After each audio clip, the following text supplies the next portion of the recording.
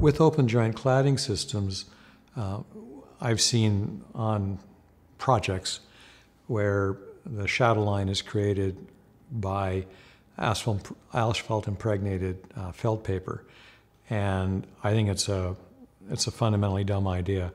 Uh, asphalt impregnated felt paper is not designed to be left exposed to ultraviolet light. So what should be used in an open joint cladding system if you want a dark shadow line? Well, there are products that are specifically designed for long-term exposure to ultraviolet light. We have a long history of adding, for example, carbon black to the covering of telegraph lines in the United States and Canada to protect them from ultraviolet light. I mean, have you ever wondered why telegraph lines are black? That's because we added carbon black.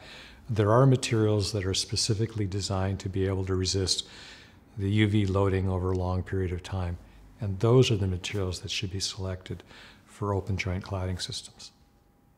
In terms of the other layers in an open joint cladding system, uh, the most practical and highest, best location for the air control layer or air barrier is on the exterior part of the sheathing uh, behind the continuous exterior insulation and behind the supplemental water, UV, and rain control layer behind the open joint cladding.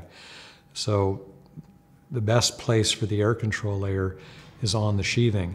It gives you the highest uh, performance. It's the easiest, most practical location to uh, install it.